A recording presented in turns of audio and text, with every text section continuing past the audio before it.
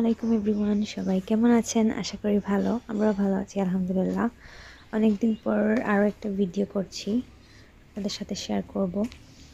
তো আজ এখন বাজে সকাল আটটা, আজকে আমি অনেক আর্লি উঠেছি বিকজ আজকে একটা স্পেশাল ডে আরিকের জন্য। আজকে আরিক প্রথম স্কুলে যাবে। তো আমি সকাল সকাল উঠার কারণ হচ্ছে ওর জন্য কিছু একটা তৈরি করব আর ভিডিও করছি বিকজ এটা আপনাদের সাথে শেয়ার করব আর একটা মেমোরি হিসেবেও থেকে যাবে। তো এখন আমি আখনি তৈরি করব। আখনি করার জন্য আমি এখানে যা যা লাগবে তা রেডি করে রেখেছি। পেঁয়াজ, রসুন, আদা, তারপর কাঁচামরিচ, দারচিনি, এলাচ, আর লাগবে কেওড়া জল, আর ঘি লাগবে। তারপর তেল লাগবে। এখানে আমি আঁকড়ি করার জন্য একটি পাত্র নিয়েছি। আপনাদের কাছে যেভাবে সুবিধা হয় আপনারা ওই রকম একটা পাত্র নেবেন।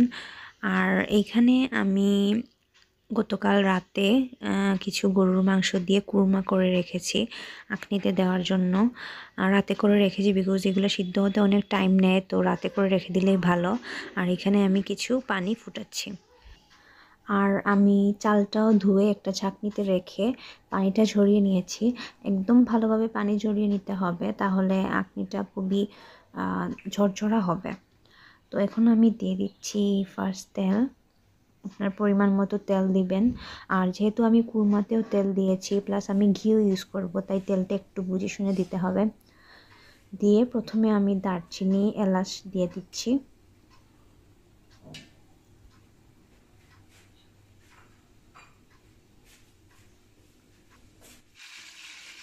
এখন আমি দিয়ে দিচ্ছি কুচি করে রাখা পেঁয়াজগুলা। অবশ্যই পেঁয়াজ কুচি ইউজ করতে হবে। এখানে পেঁয়াজ পেস্ট ইউজ করলে হবে না। তো এখন আমি এই পেঁয়াজগুলোকে কষিয়ে নিব। নেড়ে চেড়ে দিতে হবে যাতে পাত্রের নিচে না লাগে। পেঁয়াজগুলা হালকা ব্রাউন হওয়ার আগ পর্যন্ত এভাবে কষিয়ে নিতে হবে। পেঁয়াজগুলা হালকা ব্রাউন হয়ে এসেছে। এই পর্যায়ে আমি দিয়ে দিচ্ছি আদা, রসুনের পেস্ট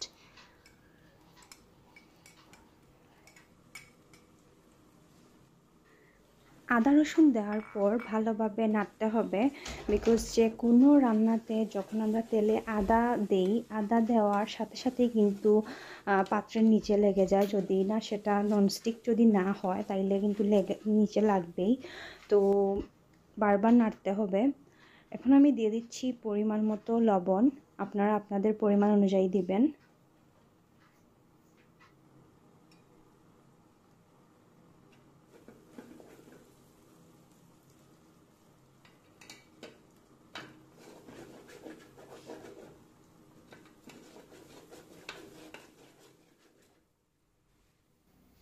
মশলাগুলা একদম কষানো শেষ। এখন আমি দিয়ে দিচ্ছি চাল।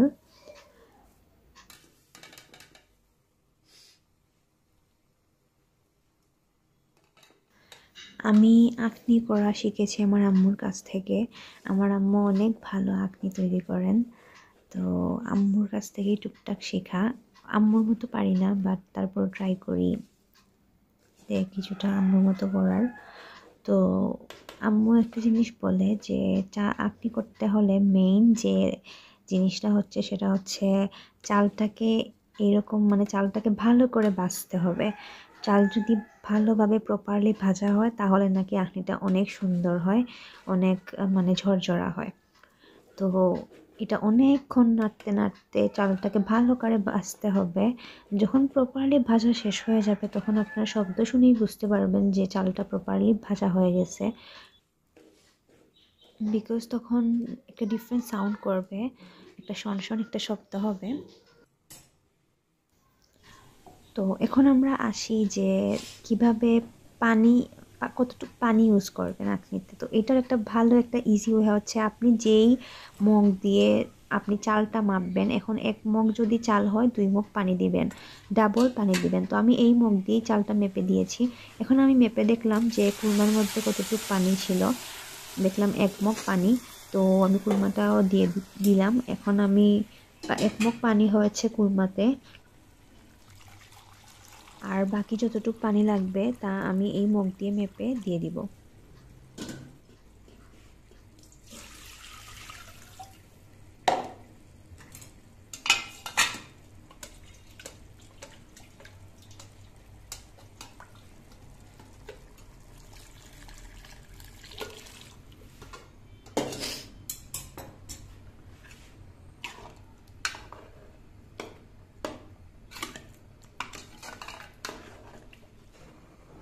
এখন আমি দিয়ে দিচ্ছি কাঁচামরিচ। এই আপনার আপনার ইচ্ছা মতো কাঁচামরিচ ইউজ করতে পারেন। যেহেতু একটু ঝাল না হলে কিছুই ভালো লাগে না। তো আমি কুরমাতেও কাঁচামরিচ ইউজ করেছি। এখানেও কিছু দিয়ে দিলাম।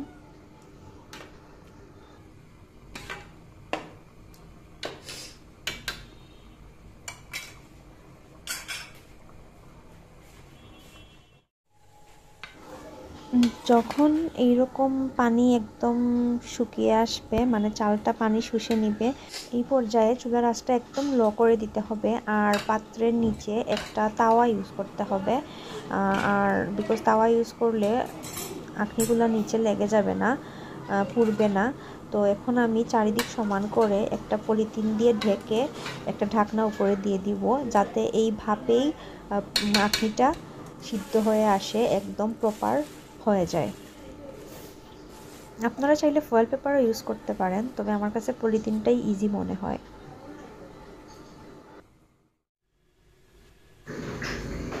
দশ থেকে পনেরো মিনিট পর আমি ঢাকনাটা একটু তুলে চেক করছি। তো আমি এখন দিয়ে দিচ্ছি কেওড়া জল। দুই থেকে তিন চামচ কেওড়া জল দিবেন। আর দিয়ে দিব ঘি। আর ঘি আর কেওড়া জলের কারণে অনেক সুন্দর একটা স্মেল বের হবে আর খেতে অনেক ভালো লাগবে। আমি কেওড়া জল আর ঘি দিয়ে তারপর নাড়ব। নেড়ে একসাথে মিক্স করব।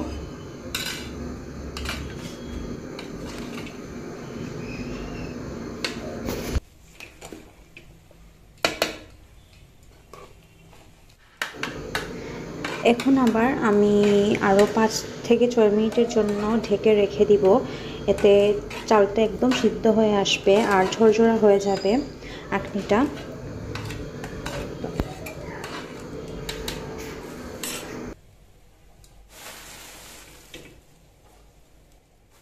Good morning, Ari. Good morning. উঠি গেছনি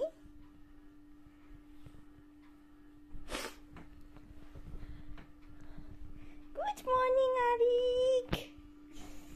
Good morning. Good morning. Good morning, baby. How are you? Good morning.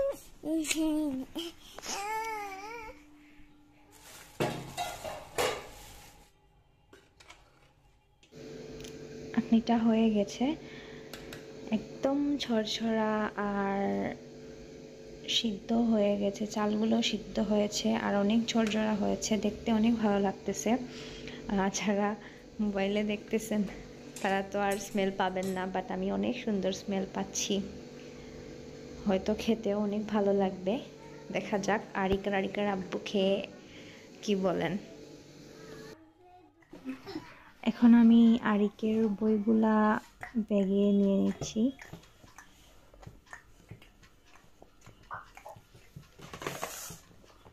ওর যা যা লাগবে।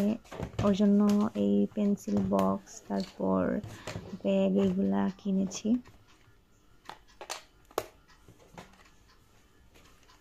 আর অনেক এক্সাইটেড ওর স্কুলে ফার্স্ট ডে ও স্কুলে যাবে আজকে।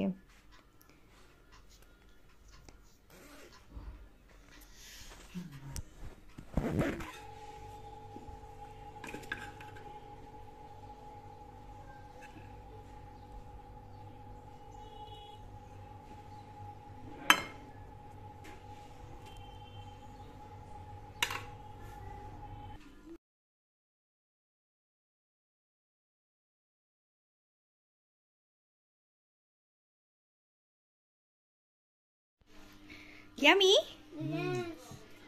বেশি ইয়ামি নি. মজা হয়েছে নি. বেশি না কম বেশি বেশি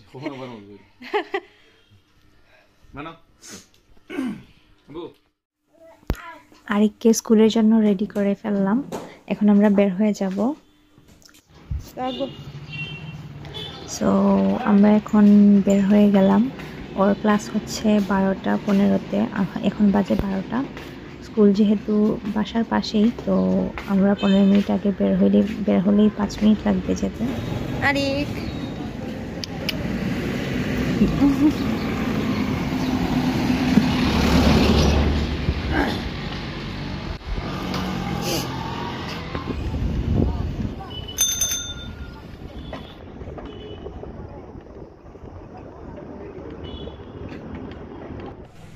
আমরা স্কুলে চলে এসেছি। এটা হচ্ছে areca school green hill international school and college.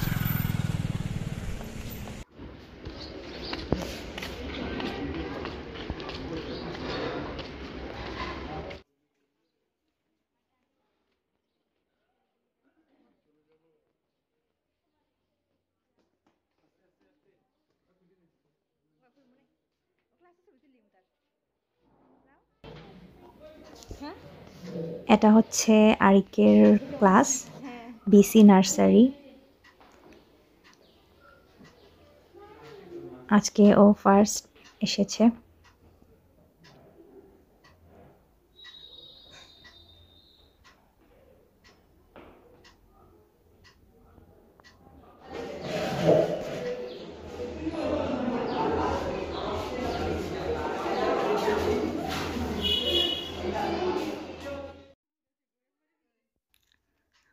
আওয়ারের class ছিল। তো এক ঘণ্টা হয়ে গেছে, ওদের এখন ক্লাস শেষ। সো সবাইকে মিস একজন একজন করে বায় দিচ্ছেন।